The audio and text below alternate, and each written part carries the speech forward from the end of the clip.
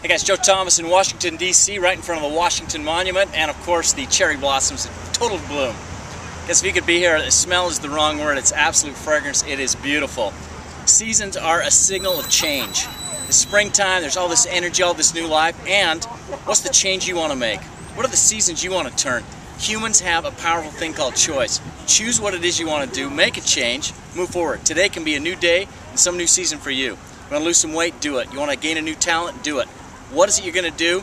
Pick it, act on it, move forward.